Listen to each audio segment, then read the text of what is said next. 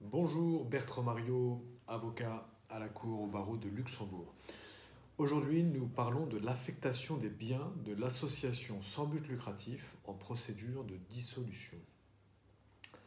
Il est intéressant de rappeler ici que les statuts d'une association sans but lucratif doivent mentionner l'emploi du patrimoine au cas où celle-ci serait dissoute.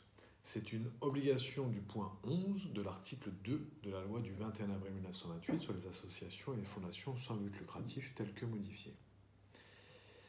L'article 2 de la loi 1928 faisant référence aux mentions obligatoires que doivent contenir les statuts d'une association sans but lucratif.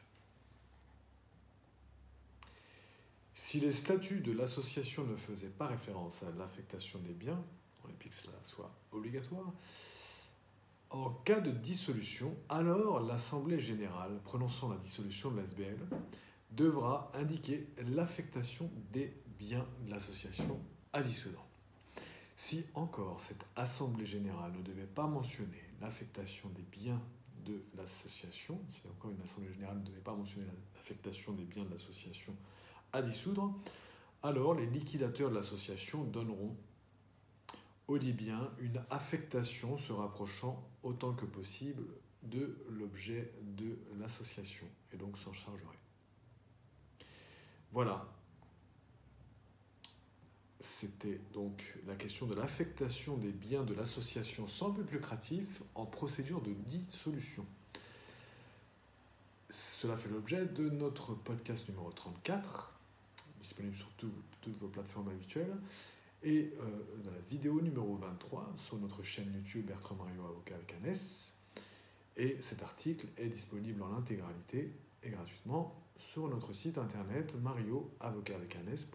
Mario, Mario Avocat en un seul mot avec un S.com.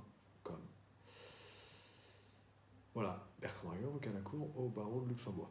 On va aussi mentionner, comme on le fait, on a l'habitude de le faire, comme on le fait d'habitude, les articles 2, les articles cités euh, dans cet article, donc l'article 2, 11e. Que dit cet article 2, 11e L'article 2 mentionne les statuts d'une association sans but lucratif, les, euh, mentions obligatoires des statuts. Donc, article 2 dispose les statuts d'une association sans but lucratif doivent mentionner, donc il y a euh, plusieurs éléments, et onzièmement, l'emploi du patrimoine de l'association dans le cas où celle-ci serait dissoute. Ensuite, après cet article 2, 11e, article 22, alinéa 1 de la loi du 21 avril 1928 sur les associations et les fondations sans but lucratif.